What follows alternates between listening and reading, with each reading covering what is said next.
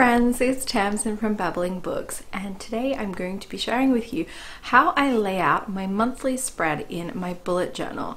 This is the journal which I use to keep track of all of the things that I post for Babbling Books, whether that's making Instagram posts or whether it's making YouTube videos I think that this is a spread which you can use if you're any kind of blogger or YouTuber or Instagrammer. Basically, you could use this for anything, this type of spread, but this is something which I've customized to suit what I need and the kinds of things which I'm trying to keep track of every month. This is what it looks like. I use a Moleskine journal in a basic size and I use dots instead of lines or squares. I just really prefer the dots. And if you've seen my travel journal flip through, this is a very similar book, though this is actually the hardcover version rather than the softcover. What I'm going to do now is take you through how I created this page and I filmed myself doing it. I didn't try and plan this out beforehand. I have filmed exactly what I did and you'll notice that I only use pen and I don't do anything in pencil first because I guess I'm just the Ravenclaw version of a risk taker.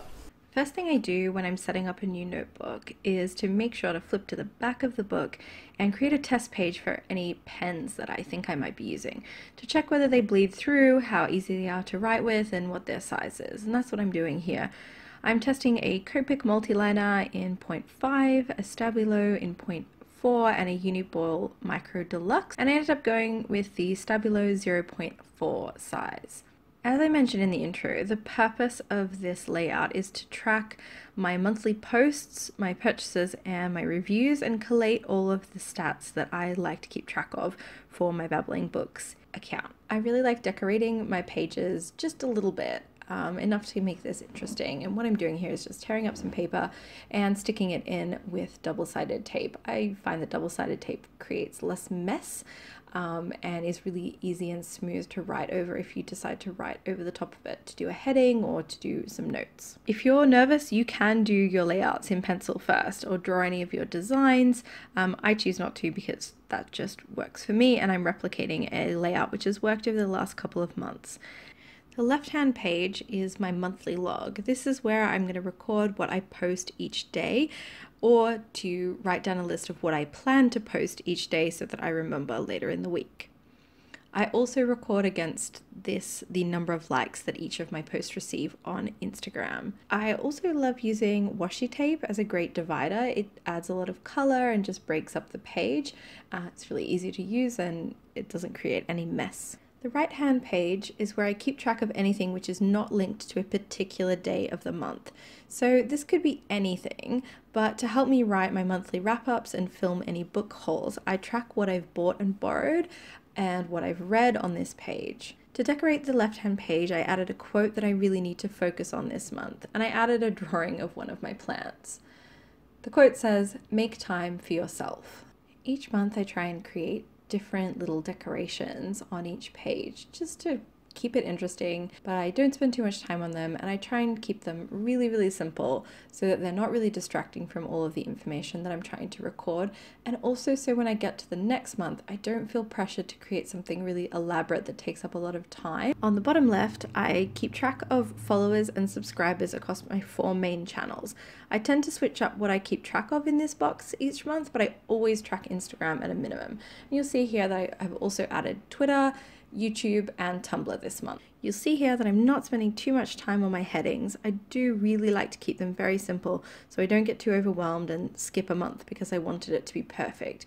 I just use my normal handwriting and I make them a little bit fancy by adding some little leaves or vines. This month I decided to add on the right hand page a tracker for what books I need to review and which YouTube and blog posts I actually made onto my channel and onto my website.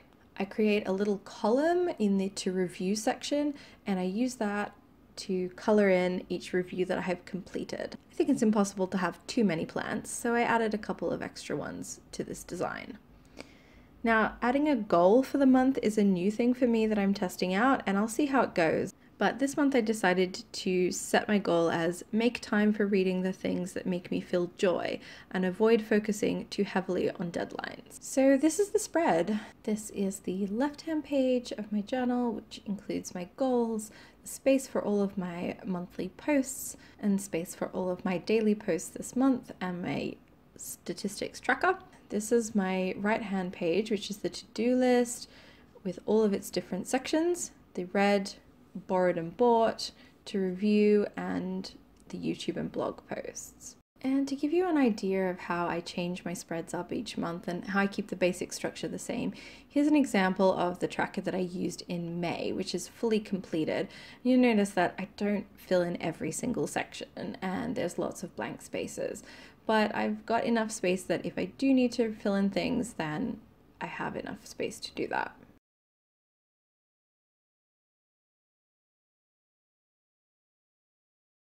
And finally, here's my July tracker, which is partially completed as we're a little bit into the month when I'm filming this. And I'm going to continue to fill it in throughout the month, and I'm finding that it's actually working really well. I'm really happy with this layout, and I think it improves on some of the little bits in May which weren't quite working for me. I hope you found this video interesting, and if you end up designing a similar spread to this for your own progress tracking, please let me know. I'd love to see a picture of it.